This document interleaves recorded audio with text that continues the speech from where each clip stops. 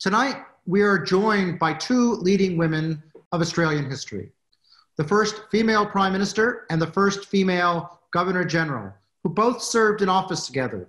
The Honourable Julia Gillard AC and the Honourable Dame Quentin Bryce AD CVO. Welcome, Julia and Quentin. It's great pleasure to have you here with us tonight at the National University, even if virtually. The Honourable Julia Gillard AC was sworn in as the 27th Prime Minister of Australia, June 2010, and served in office until June 2013. During her time as Prime Minister, we saw nation changing reforms to Australian education at every level, from early childhood to higher education, an emissions trading scheme to combat climate change, and the establishment of the nation's first ever National Disability Scheme, which has helped improve the lives of thousands of Australians living with disabilities every single day. Julia's term in office as Prime Minister was met in some circles, but by behavior that attempted to demean her leadership through what can only be described as misogynistic behavior.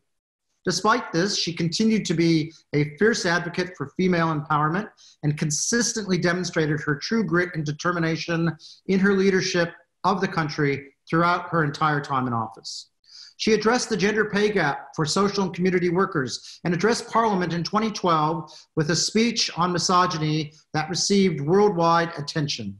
And that attention continues today. It's even trending as a TikTok video of 2020. And I think that's the highest praise you can get in 2020 right now, Julia. Julia's legacy extends far beyond her time in Parliament. She continues to advocate for women's rights, education, and mental health. It is an honor to have Julia as part of our ANU community through the establishment of a sister institute to the Global Institute for Women's Leadership, which Julia founded at King's College in London. This institute brings together research, practice, and advocacy to help to continue break down barriers for women by addressing women's underrepresentation in leadership. We are excited to be able to partner with the Institute and Julia on this important work. Julia is also the chair for the Australian not-for-profit organization Beyond Blue, chair of the Global Partnership for Education, a patron of the Campaign for Female Education, and was recently announced as the next chair of the UK's Wellcome Trust. Now, I've just received my signed copy of Julia's new co-authored book, Women in Leadership, and I'm really looking forward to reading it. It will no doubt be a brilliant uh, read written by two extraordinary individuals. And of course, that's what we're going to be talking about tonight.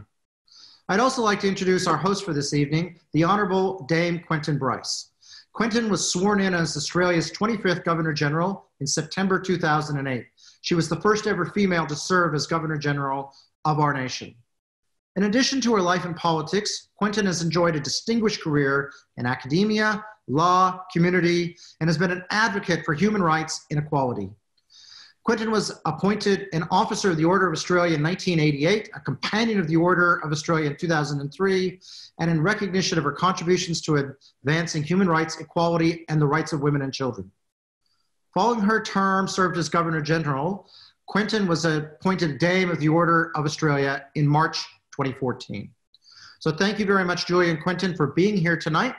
I'd also like to thank Colin Steele, convener and founder of the ANU Meet the Author series, Colin's continued work for 30 years has brought a high caliber of authors to this university over many, many years. And tonight is, of course, no exception and indeed a pinnacle in the uh, long running series. So without further ado, it is my pleasure to hand over to you, Quentin, uh, and let you to it. Thank you. Good evening, my friends. Thank you, uh, Brian, for your kind introduction. I pay my respect to the traditional keepers of this land on the curve of the Brisbane River, the Turrbal and Yagara people. And I acknowledge the inspiring, wise Indigenous women who've taught me across my life what it means to be an elder. And uh, Colin Steele, our gratitude to you, uh, as uh, Brian has mentioned, your marvellous work across decades for the Meet the Author series. It's a delight for me, an absolute thrill, to be talking to our former Prime Minister, Julia Gillard, about her latest book, Women and Leadership Real Lives, Real Lessons. Julia, who could ever have imagined that we'd be meeting like this as COVID 19 sweeps through humanity. Tough times for our planet and for every single person on it. A time calling out for leadership, leadership to listen to. It has been suggested, I've noted, that women led nations are doing better in the pandemic. Congratulations to you and to your co author Ngozi on this utterly engaging, energetic exploration, searching for answers to a profound question why are there so few national women leaders? In 2020, the number is 13.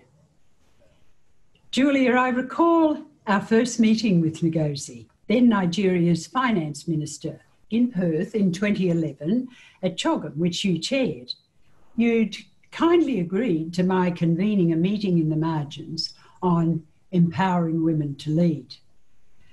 I recall you on the stage with the three other women Commonwealth heads of government at the end of a long, long day, with that thought in my mind how does she do it? I had the opportunity often to observe the characteristics of your leadership from a unique perspective. And now, today, Ngozi chairs Gavi, the Vaccine Alliance, and you, the Global Partnership for Education, both organisations working for the poorest children in the world. Both of you with a long list of important, influential roles, international meetings galore, and often you are at the same ones, becoming friends. Indeed, friendship shines through this book, and that's what particularly uh, appeals to me. It sets the tone, it brings vivacity and authenticity, personal, warm storytelling, some outrageous humour. But all underpinned, I stress, with the power of the data, academic rigour, sophisticated critical analysis. This is a big, ambitious book and I want to ask you, how did you actually do it, the two of you together? Well, thank you so much, Quentin, for that lovely introduction. And there is a tremendous symmetry about the two of us being uh, on here now. Uh, not only did you swear me in as Prime Minister, uh, not only were you there when I first met Ngozi, because it was at the Commonwealth Heads of Government meeting that I first met her, my co author, but you launched my first book, My Story. So it's tremendous to be back together again talking about another book. Um, this was a different experience for me. When I wrote my story, obviously, um, it was, you know, me focusing on my time in politics and writing from my own memories of that time. Um, this because we worked up the idea together in the margins of international meetings. We would be muttering to each other about what was happening with women leaders around the world. And then Hillary lost, and we were then really motivated to try and make a difference. So we said, yes, we're going to write a book. And then we settled on the foundation stones that you see in this book. We wanted it to bring the psychological and gender research, and we wanted it to bring women leaders' stories and to put the two together, and particularly to say, does the research hold true in the real world? And we then worked from there to a comprehensive concept note and we adopted this structure of hypotheses that we wanted to draw from the research and then get our women leaders to respond to. So, the uh, structure of the book that you see uh, has been with us for a long time.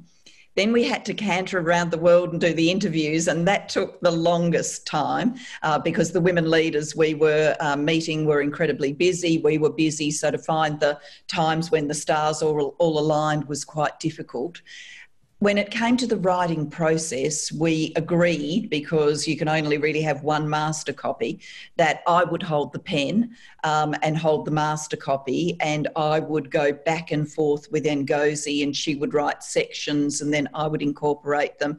Then we would both go through bits and edit using the track changes function that everybody's probably frustratingly all too familiar with, and we just worked like that. So, a lot of time speaking to each other, some time working directly together, but a lot of it done virtually and online. So, if anything, we were getting ready for the COVID era uh, by spending so much time collaborating in that manner. And then it all came together in the you know months of lockdown, uh, where uh, she's been in Washington, I've been in Adelaide, and we did the final polishing, and the book is there for everybody now. Mm-hmm. I uh, must say, I'm impressed by the way you introduced the uh, eight women leaders. Some of them are better known uh, than others uh, to us here in Australia, but uh, certainly candour is their hallmark in describing their pathways to power and explaining the world through uh, their eyes. And one can only be deeply struck by the, the courage, the risks, the violence, the sacrifices, the horrific abuse uh, coming through many of the stories, things we couldn't imagine, the imprisonment, terms in jail, poverty. But in the midst of these uh, vicissitudes, service, selflessness, determination in spades, and ideas, passion for progressive change. So, uh, how did you and Ngozi uh, choose the leaders? Well, actually, the first choice we needed to make was uh, were we going to focus on political leaders or were we going to approach women leaders more broadly? And we debated that back and forth and decided to focus on political leaders.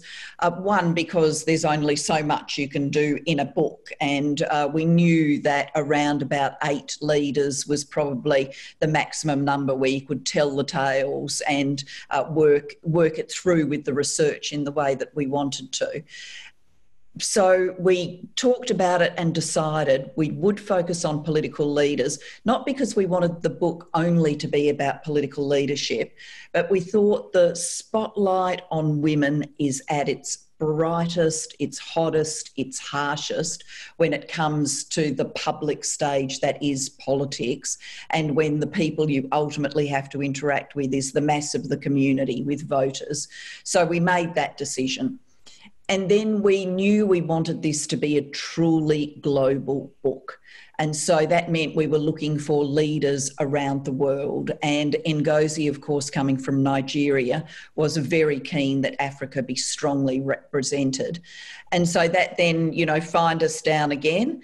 And we said, well, let's look at a number of serving women leaders. Let's look at some who have um, ended their political careers and then we added um, to, you know, we've got presidents and prime ministers, but in our look at political leadership, we couldn't walk past Hillary Clinton, given her campaign experience, I think, is the thing that so many women around the world have been uh, disheartened by and motivated by all at the same time. I mean, millions of women rallied around the world after she lost the 2016 election.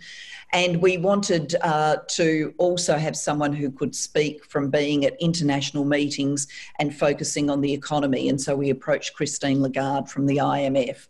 And that what gives that's what gives you the class of women in the book. Um, you know, from Norway to the UK to New Zealand to Liberia, Malawi, Chile, uh, Hillary, Christine. Uh, it is there for people to see. And I do hope that one of the delights of this book for people in Australia is it enables them to hear the stories of women that we're less familiar with because their countries just aren't routinely in our news cycle. So we don't get to learn about them the way we might know, for example, about Jacinda Ardern or Theresa May. Mm. And of course, uh, Ellen Johnson Sirleaf's come into uh, focus recently too with the inquiry she's doing. Uh, yes, she has. So she and Helen Clark are undertaking the inquiry for the WHO into the virus, and uh, two fantastic and formidable women to do it. um, what about uh, striking qualities you observe them to uh, have in common? Well, we looking across all of these women, obviously they've achieved. They've um, been genuine leaders, uh, and we knew that that experience would bring insights. Uh, beyond that, we also wanted to have a variety of perspectives. So these are not women from one side of the party political divide. Uh, there are conservative women, progressive women, uh, countries where the political spectrum and the issues that are to the forefront uh, don't necessarily fit with our conceptions in Australia about, um, you know, the right and the left. It's issues beyond that. For example, Liberia emerging from civil war. Um, so we we looked for that diversity, but we also looked for women who have been prepared to talk about gender. And that does vary across the group. Some of these women have been very forward leaning on talking about their experiences as women leaders. Uh, I'm thinking here, for example, of Michelle Bachelet, who, in between her two periods of being president of Chile, uh, served as the first ever leader of UN Women. Um, but uh, we also wanted to include women who didn't necessarily foreground it all that way, but who had made a contribution to the debate. So Theresa May had set up, before she was Prime Minister, a Conservative Party organisation called Women to Win. So each of them we thought uh, would have spent a lot of time considering gender issues, and therefore the insights would be personal experience, but also a deeper analysis. I thought at, uh, at a more uh, personal level, there was across the, the group a sense of uh, uh, secure childhood's encouragement at, at an early age uh, in their environments uh, um, too. I kept asking myself uh, uh, about about those questions of you know what what were the qualities that uh, that, that motivate them and drove them because they were certainly all very brave, courageous uh, They, they certainly were. And, and, you know, the first uh, sort of hypothesis we drill into is whether there is something in family background that helps build a female leader. And even though life was so very different for each of them, um, all of them said that they grew up in families where they were taught. Uh, to aim high. None of them was hothouse. None of them was, you know, told the, you know, the family will think you're a failure unless you end up being a president or a prime minister. Uh, it wasn't that experience, but it was an experience where no one told them no.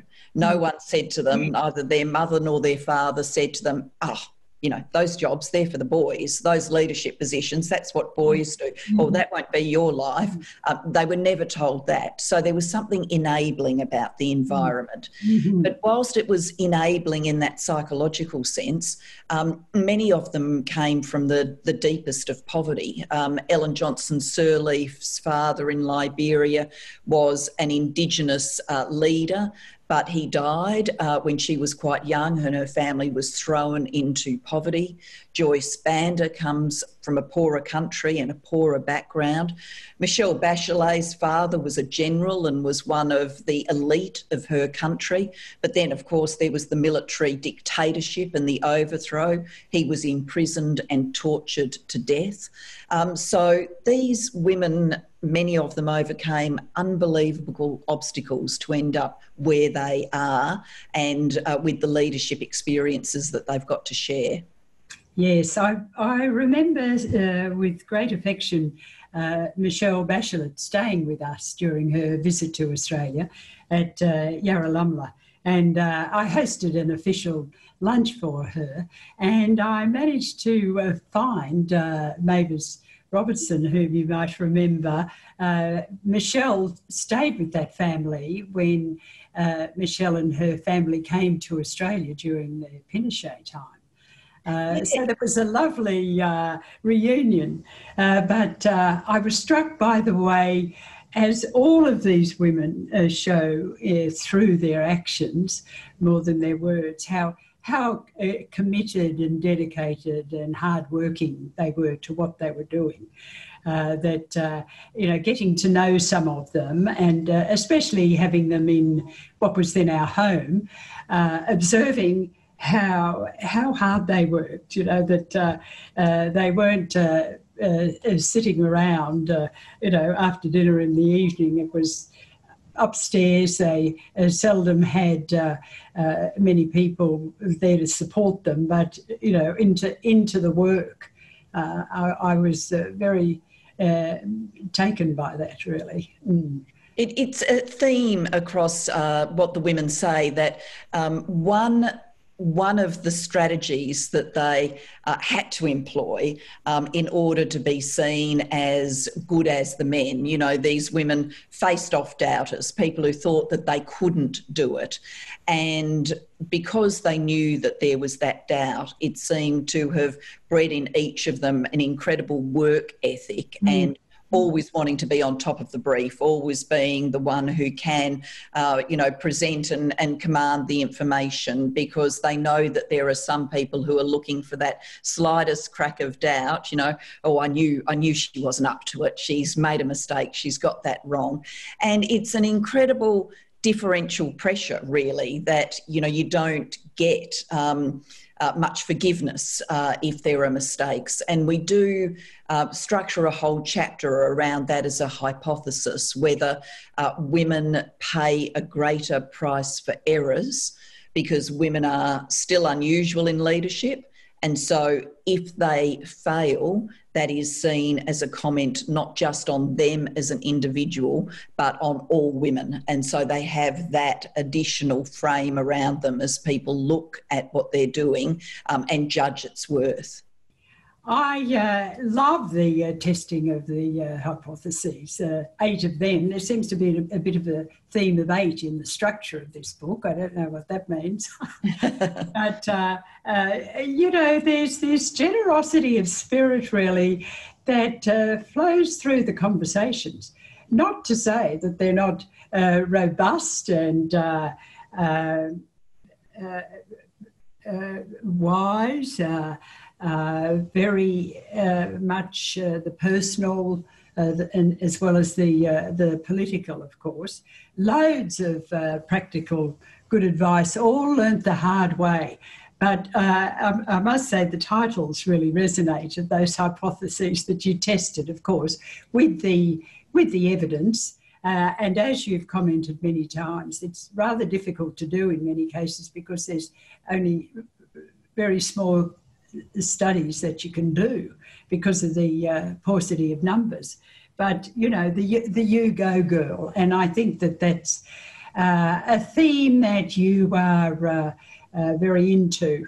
Uh, now, and that your your message and that comes through uh, all of the leaders really about encouraging and supporting young women's hopes and aspirations for political office, but making sure that they're making informed choices, that they're prepared and not just to go on, you can do it, uh, you know, and a push between the shoulder blades, but much more than that, the, the uh, uh, wisdom of, of lived experience.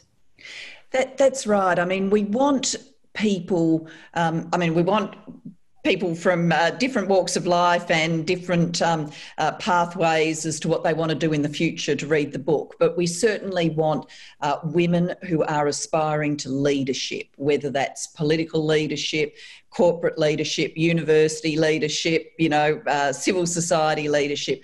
We want them to, uh, you know, have have the book as a resource, and it it would have been insulting people's intelligence if we just said, you know, you go for it, you want to be a leader, you know, all to the good, off you go. Um, because women know, everyone knows, that there's still a gendered bit. There's still going to be days when the treatment of that woman will be lesser and different simply because she's a woman. And so we want the book to stand for the proposition you go for it, but go for it forewarned and forearmed, knowing uh, that there will be uh, times when you face this different treatment and perhaps you know, we want you to take the space to think in advance what your strategies will be when that moment comes rather than being blindsided, which many women. Um, you know, who step into leadership then feel quite um, taken aback, mugged when uh, that gendered moment does happen. Uh, we we want it to be a rallying cry, though, for more than women who are aspiring. Uh, we want it to be uh, a book that gives strategies to everyone to make a difference in the world and make a difference for women in leadership. Uh, and so, you know, whether it's just the simple task of making sure that uh, everyone in a group gets to speak and it's not the men who take all of the airtime, the women get some of the airtime, through to people who have power using that power to make a difference for uh, women, uh, we're urging everyone to do that and we're putting some suggestions, in, we have put some suggestions in the book as to how that can be done. Um, on, you know, what difference it ultimately makes for girls. Uh, we do uh, talk about a study in India in the book that shows very clearly that villages that ended up led by women uh, the next generation of girls not only was inspired by the role modelling effect, but it had a practical impact in the here and now. Girls in those villages studied harder and did better at school because they knew that there was this potential pathway forward for them. So there is a virtuous circle here. If we can uh, mobilise to get more women leaders, then we will make it easier for the next generation and the generation after that. And I know that's something uh, you've thought thought about across your life and made a huge difference to through your own work and something that I've been very focused on since leaving politics. I do want it to be easier for the next woman.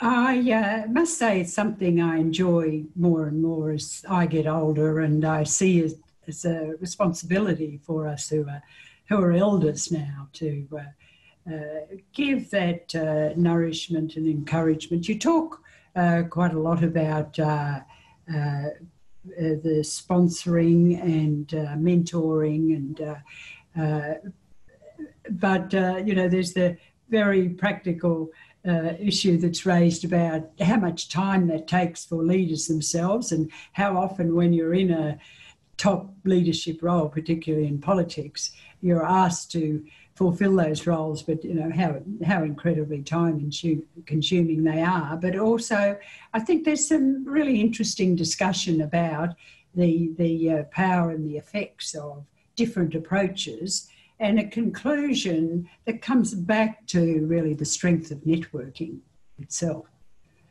Uh, but I, uh, I, I loved some of the uh, uh, hypotheses, I must say. You know, it's all about the hair and women's appearances and those jokes we've all been having with each other forever. I remember when I was uh, uh, sworn in as governor of Queensland, the uh, uh picture on the front page of the newspaper was my sort of dismembered ankle and foot, really, to show my green shoes I was wearing. You know.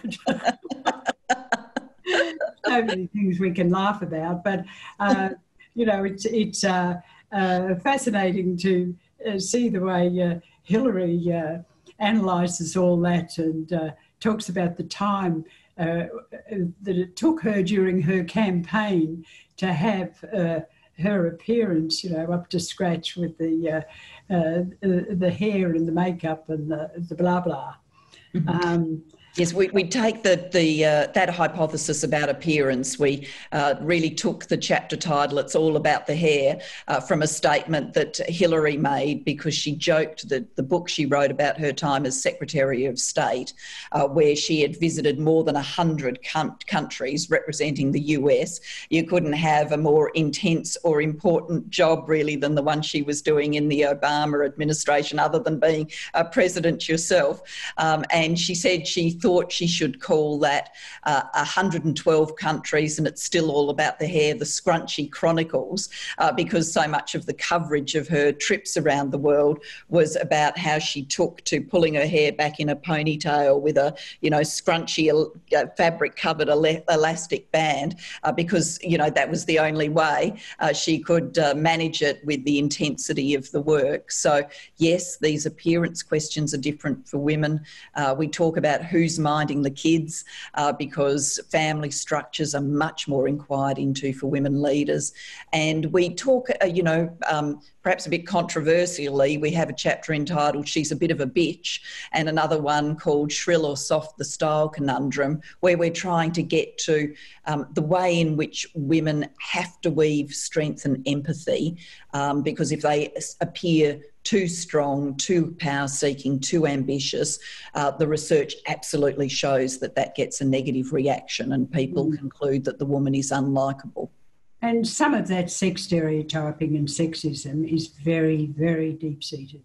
And we've been talking about it, having campaigns about it uh, for decades and decades now. But it's, uh, it's uh, still there and it can be a very powerful turn-off for a lot of aspiring young women leaders, I think. I, think that's right, and I think um, uh, Brian made a, a reference to uh, you know the TikTok use of the misogyny video, but that um, uh, you know started uh, with a, a woman who's uh, lip syncing to the misogyny uh, speech, but the the soundtrack she's got in the background um, is a uh, song that uh, says literally, I'm a bitch, I'm a boss, because, um, uh, and says it in an empowering way, you know, women owning that, I'm a bitch, I'm a boss. But it just that people would write those lyrics shows that young women are onto this, that they uh, know that, that there's that stereotype waiting for them, and they're almost going to debunk it and diffuse it through owning it and through humour uh, before it tries to come and get them. Oh, I think it's fantastic. uh, and uh, I must say, I like uh, Christine Lagarde when she talks about being a weeper, she says. Uh, when uh, it, I think that's on the, uh, the shrill or soft conundrum. And she says, I'm a weeper. I never put mascara on my bottom lashes so I can cry and don't look as though I've got a hangover.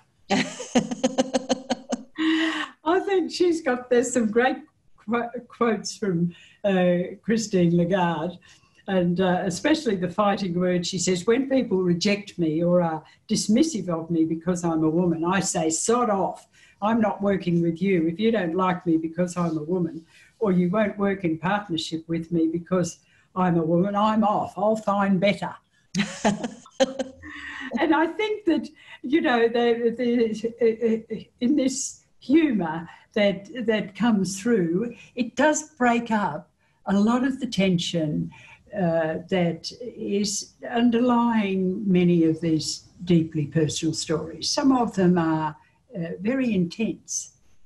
Some of them are very intense. Uh, you know, both Ellen Johnson Sirleaf, who was the first woman to lead a nation in Africa, leading Liberia, and Joyce Banda, who was the second, leading Malawi, uh, both of them had violent first marriages that they needed to escape um, and, well, endure, live through, and then escape uh, in order to get on with their lives. And they took uh, that personal experience with violence um, into their leadership and deliberately worked as leaders to try and make uh, it easier for women to get out of uh, unsafe situations.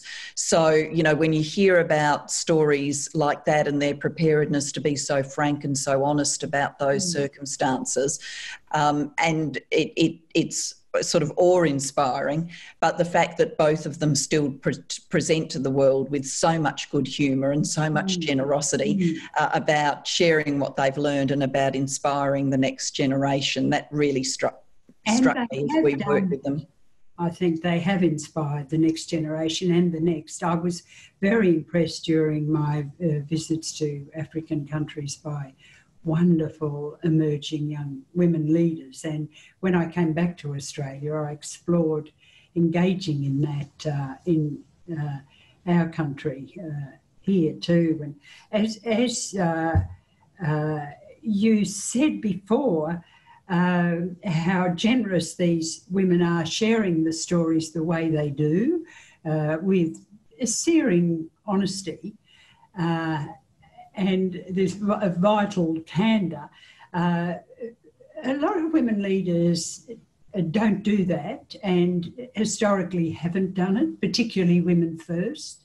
Uh, an exception being Madeleine Albright, who's famous for her line, you know, where there's a special place in hell for women who don't support other women. And that's one of the uh, uh, issues that you uh, explore in the uh, hypotheses list. What, what have been your experiences with that?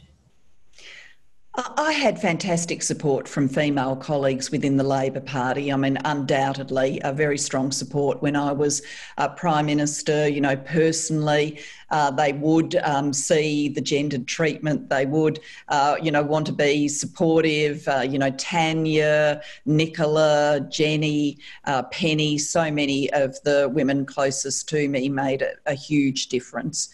I think in politics it gets harder across the party lines. Um, you know, there's so much partisanship uh, that it can be difficult for women to reach out to other women across the political lines.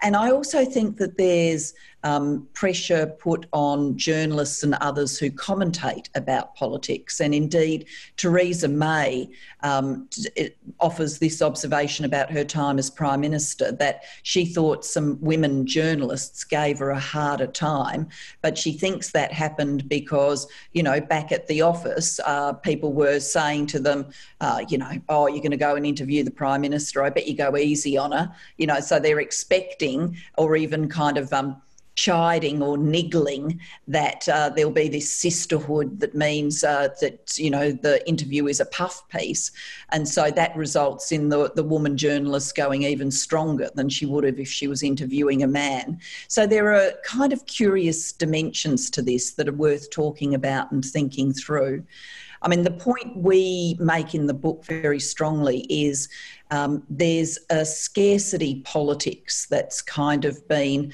um, shaping of women's behaviour. You know, we, uh, for a long time, there were no seats at the table for women, and then a few seats became available a couple of seats on a corporate board, a couple of the seats around a cabinet table. And the uh, reaction of women um, if you're not careful, it's pretty easy to say, well, there's only two seats that are going to go to women. So my competitors are the other women looking for those seats. Uh, you know, that the politics of scarcity then implants a set of behaviours in us where we compete with each other rather than cooperate with each other.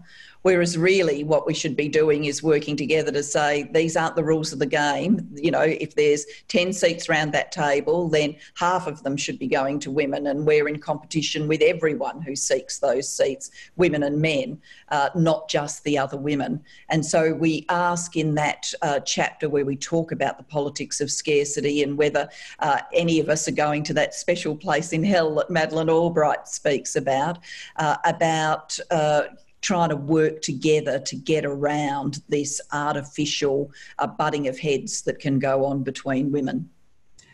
I thought the way that issue was discussed was uh, very revealing, and I noticed that there, and quite often through uh, addressing uh, some of these hypotheses, that uh, the word fair is used you know, when when you're addressing a, a, a dilemma, uh, that that's what you can call on for some guidance for yourself when you're asking about some of those issues.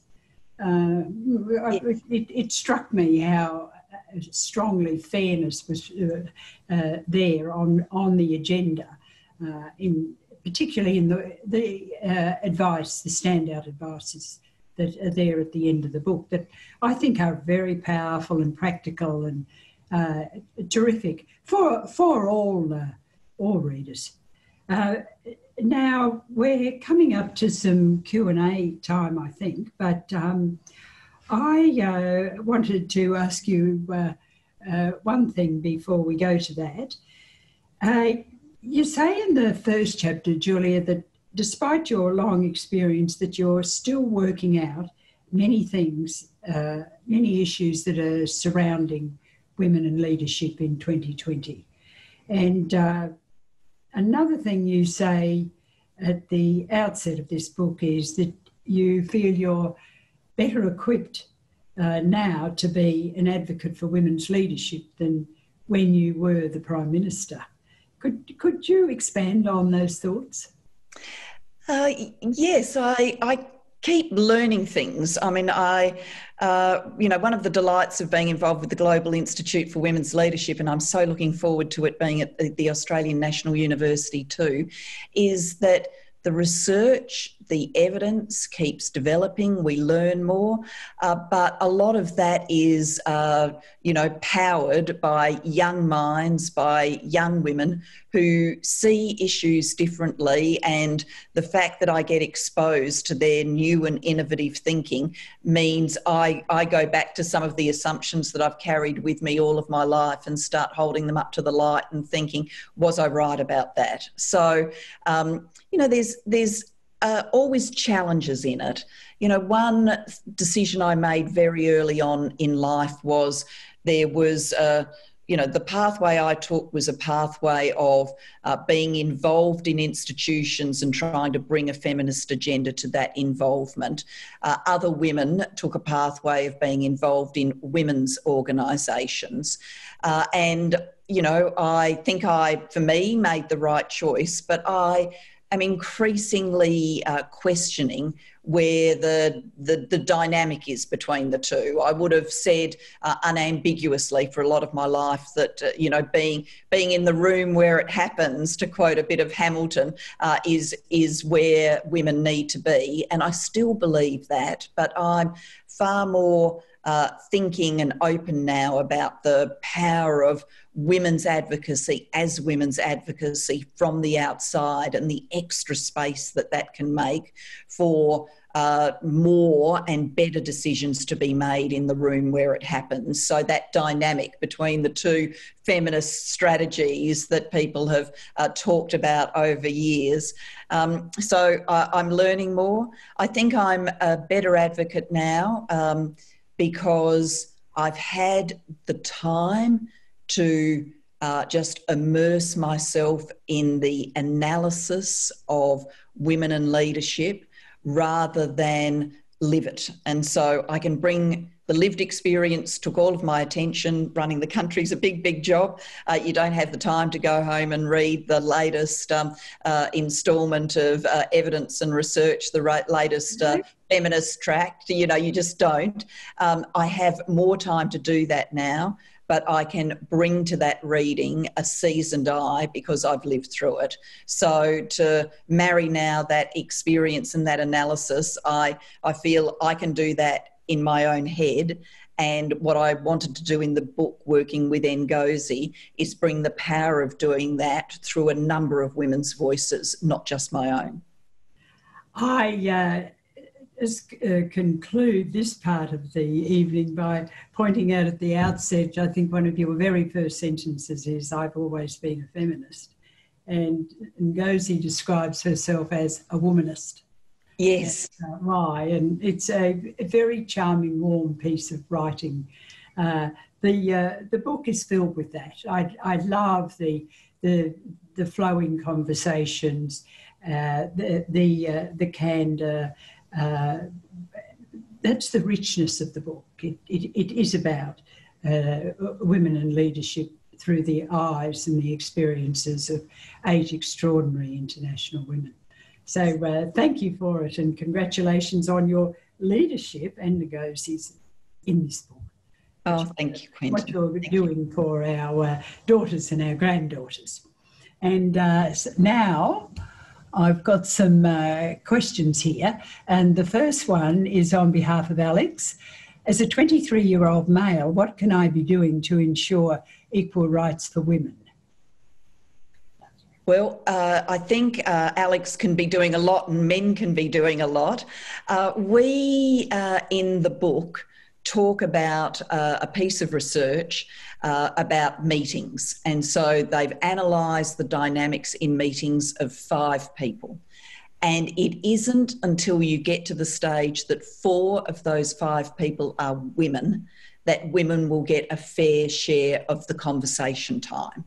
If you've got two or more men in the group, then women won't get a fair share of the discussion. And that's a very powerful piece of research, and it means all of us, you know, uh, uh, Alex, all of us uh, in meetings can make sure that women's voices are coming to the table and women's voices are heard. So, very practical piece of advice.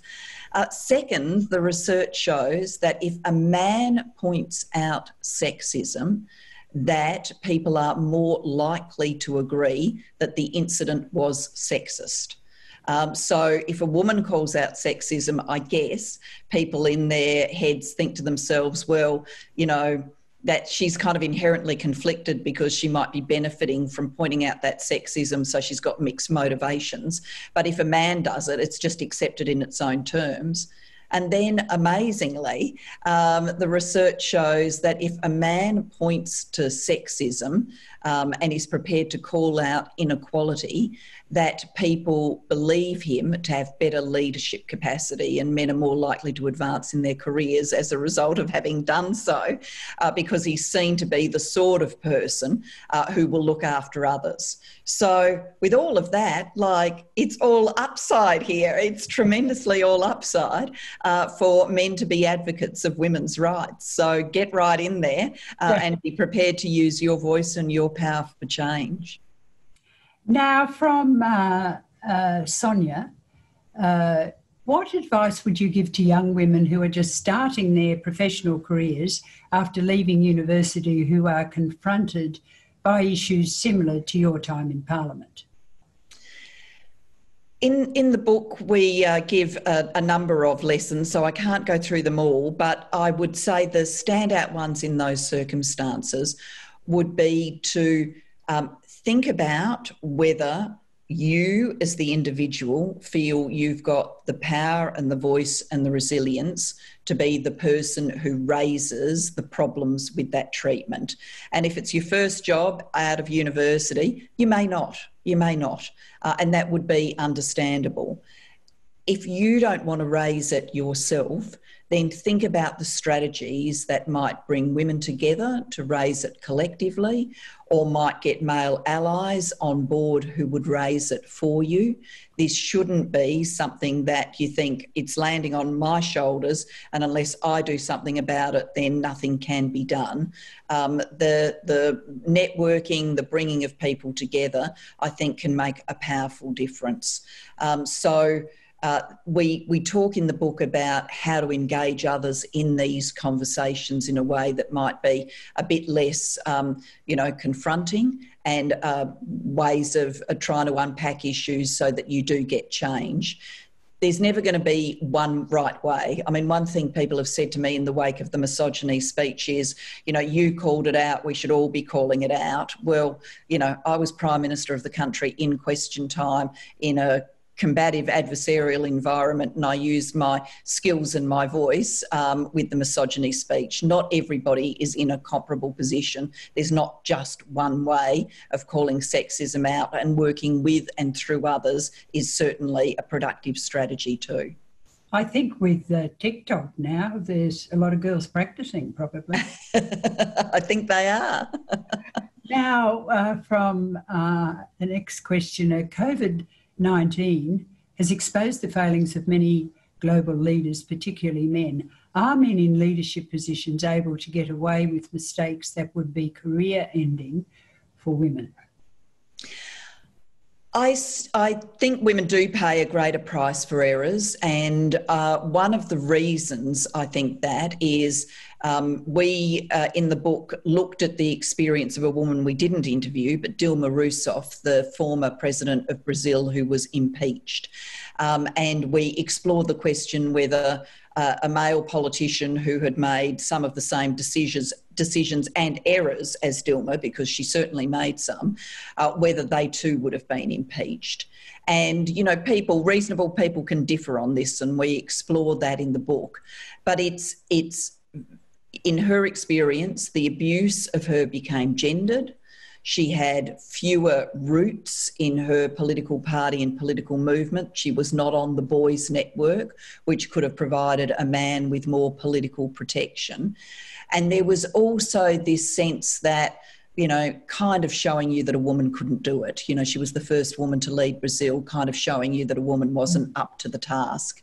Mm. Whereas when men make errors, I think they're more likely just to be judged in their own terms. So, you know, people aren't going to say, um, uh, if a man makes an error, that that is a reflection generally on the whole class and capability of men to lead. They will say he's made an error, not men are ill adapted for leadership.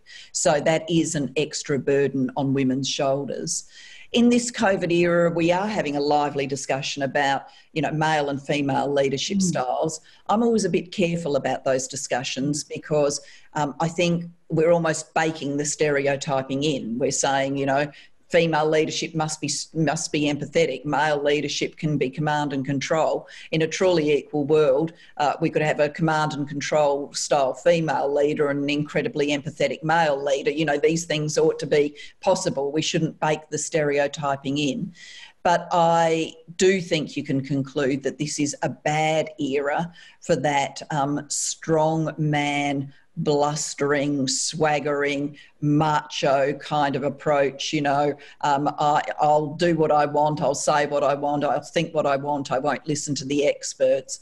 Um, and going back to Brazil, um, you know, the current, current president there, President Bolsonaro, I think is probably the most uh, clear global example of that at the moment and actually has the virus himself. Mm-hmm.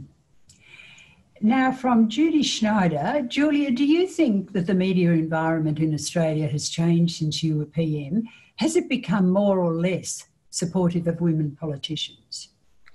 I think uh, there is a um, clearer discussion about gender and politics now, and there's a greater price to be paid uh, by journalists who, um, you know, do write something sexist. I mean, when I was um, PM back in, you know, uh, 10 years ago, as it is now, 10 years ago, when uh, you swore me in as Prime Minister, we had the anniversary a few short weeks ago.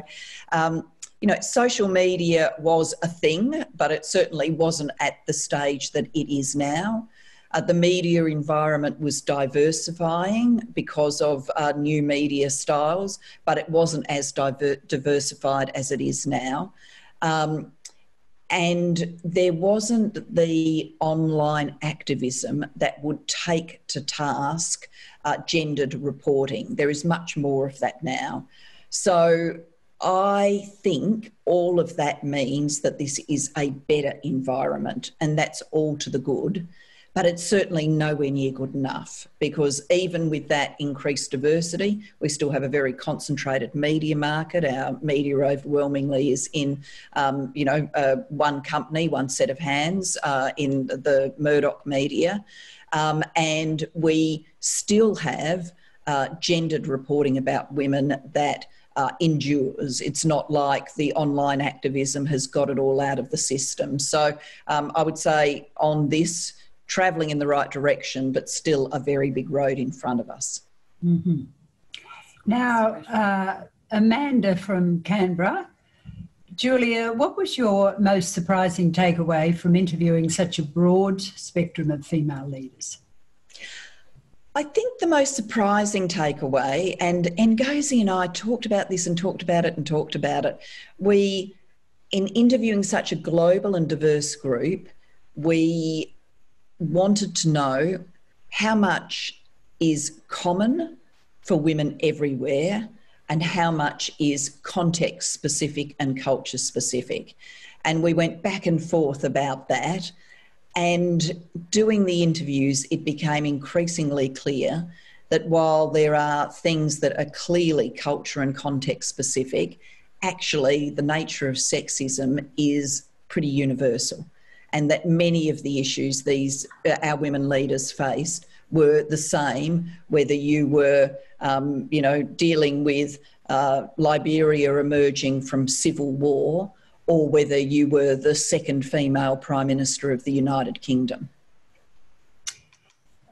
You're reminding me of the power of the bonds I saw uh, amongst women around the world when I was uh, travelling representing our country overseas. I used to have a meeting, women's meeting, uh, the, the first item on my agenda wherever I travelled, because I knew that that was how I would find out the things I really wanted to know before I got going. And the, the, the uh, power of those bonds, wherever we were, whatever the backgrounds were, through all sorts of differences, what might be seen by some as barriers, the, the universal themes that were so powerful, the bonds that women share through our care for our children and our grandchildren for the future.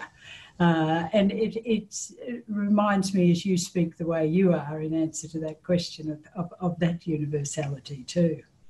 Yes, uh, yes. Now, it's not like it's not like um, you couldn't start the conversation because yeah. while so much would you know you growing up in uh, in Queensland and you're meeting women from all around the world who have grown up in different circumstances, but uh, there are some things that have happened to you that have happened to them that can mm-hmm. be that touching point, and then mm-hmm. you can take the discussion from there.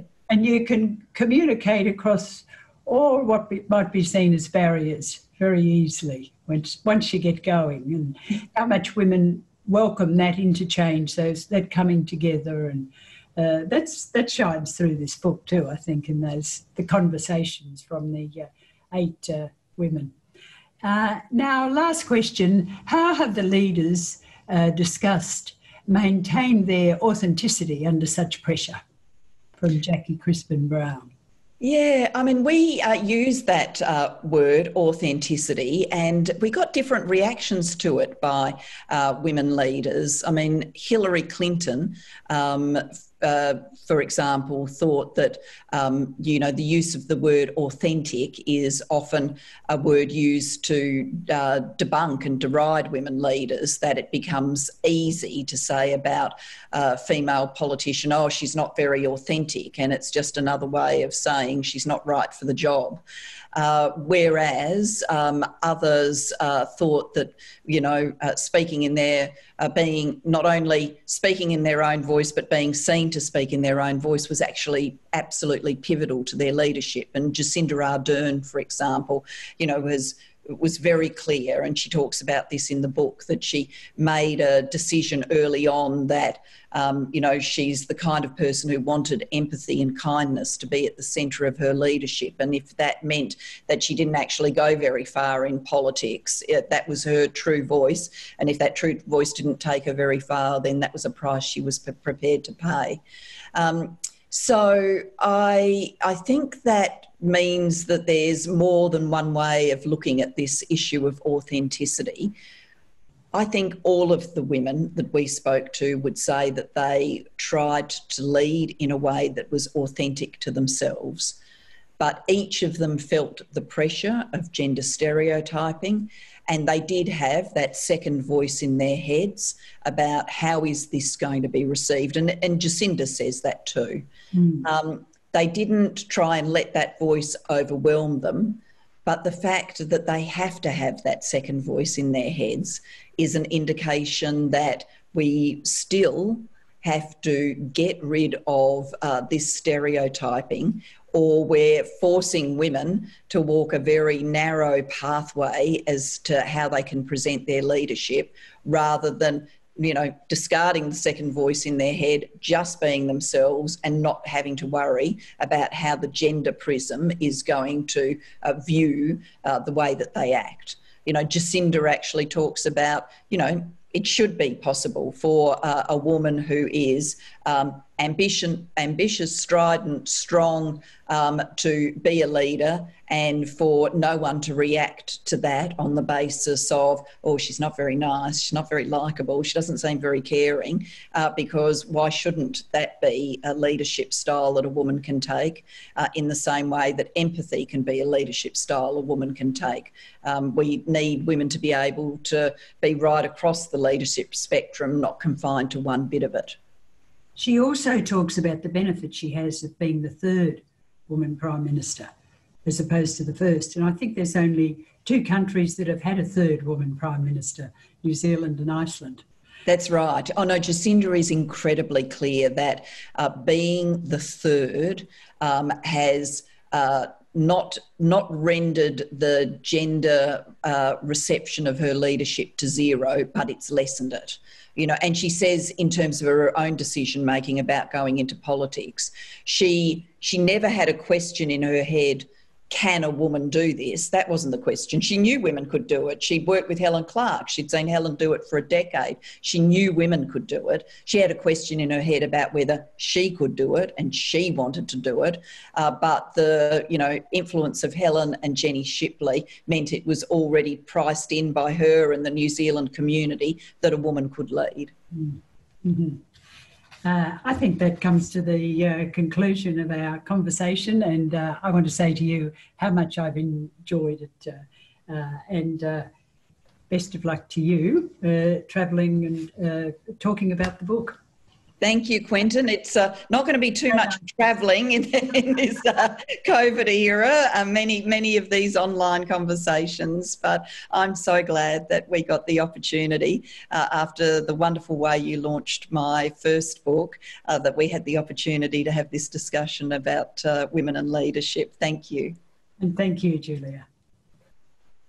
Well, thank you both. And can I just say how good was that? Because one of the weird things about COVID 19 and us being able to do these virtual events is rather than being in a big stadium or large lecture theater, uh, we literally have you in our rooms, our, our houses, having a conversation. And it's, it's, it's remarkably uh, uh, intimate.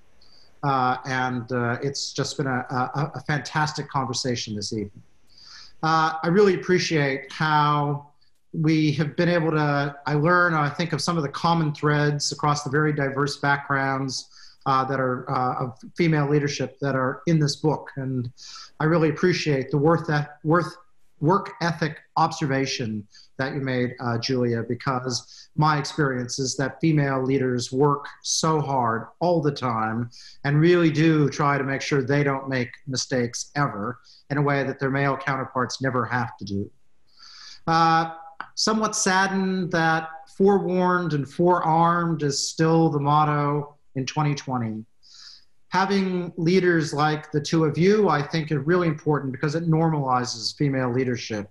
So each generation finds it easier. But I think, unfortunately, uh, our young women still do need to be forewarned and forearmed. I hope future generations find that less so. And men, as Julia said, it's all upside to be a feminist. So to my male colleagues. Uh, Julia, your book clearly weaves together personal narratives, humor, and data around a diverse set of amazing leaders. And I think this work will help us all understand the nature of the things that women in leadership positions face. And just as first, know the nature of things is the ANU's motto, uh, I just note from my experience, from understanding, like you are providing, all good things flow. Uh, so finally, I want to thank you, Quentin, for leading our conversation tonight. And thank you, Julia, for being prepared to shine a light on female leadership, the good and the bad, so that we can all have better leaders in the future. So we can't give you a round of applause, but we'll a virtual round of applause. Let's thank Julia Gillard, Quentin Bryce, if only in our hearts. Thank you very much. Thank you. Thank you.